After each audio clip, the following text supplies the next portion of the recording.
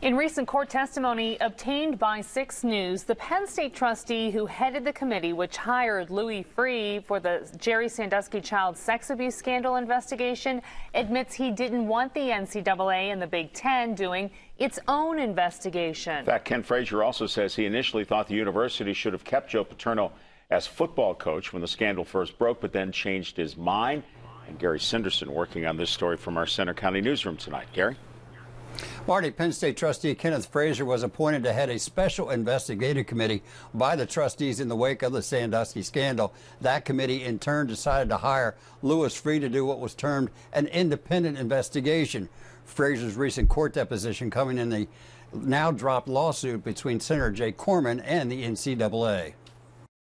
In 2012, this is Penn State trustee Kenneth Frazier describing to the trustees the objectives of the Louis Freeh investigation. How the alleged acts noted in the grand jury report that came to light this past November could have occurred at Penn State, where the breakdowns occurred, who knew what when, and what changes we can make in his recent court deposition, Frazier still supports the hiring of Freeh, although he goes on to say, quote, the report contains opinions, conclusions, inferences of the investigation, which I think has been something other than completely objective, the way factual observations are objective, unquote.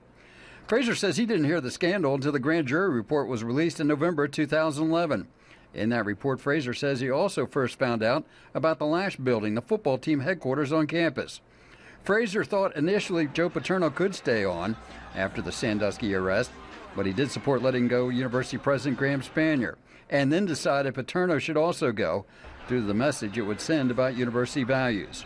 Frazier did talk to the trustees early on about the involvement in the NCAA and Big Ten. Judge Freeh's team also has been cooperating and interfacing with the NCAA and the Big Ten Conference in connection with their respective reviews. Frazier says he preferred one investigation by the Freeh Group instead of multiple organizations with multiple investigations on campus.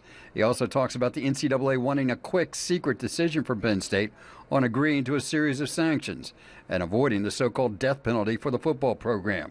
Frazier saying he wanted to avoid having Beaver Stadium being empty in the fall. Frazier also testified during the time when the NCAA was putting the squeeze on Penn State in July of 2012, right after the Freeh report was released, whether or not the university would accept those sanctions. There was talk among the trustees of filing a lawsuit against the NCAA, but at that time it was decided a lawsuit against the NCAA would be ineffective. Live in Centre County, Gary Sinderson, 6 News.